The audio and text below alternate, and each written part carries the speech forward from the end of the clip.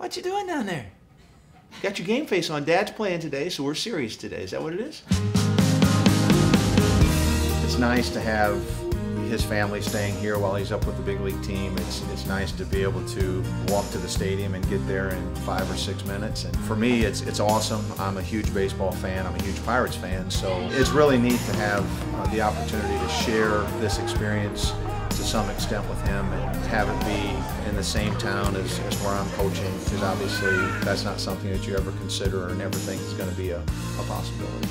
Catcher, Jacob Stallings when Jacob was small, we would be in the backyard in the fall throwing a football and shooting baskets in the wintertime. But he was just a little squirt. It was a team, the Pirates, they had little Pirates jerseys, and which is ironic, and he was very competitive with it even at a very young age. It was apparent liked baseball, that he would have a chance to play baseball with some success.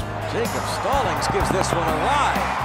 I, I, went over for a game the other night, and I, for the first time, I just sat out in the left field bleachers, and I probably took 10 pictures and signed 10 autographs just from people that, that, that recognize me. And so it's really nice that the people of this town embrace us and embrace the teams of, of this town uh, in the way that they do.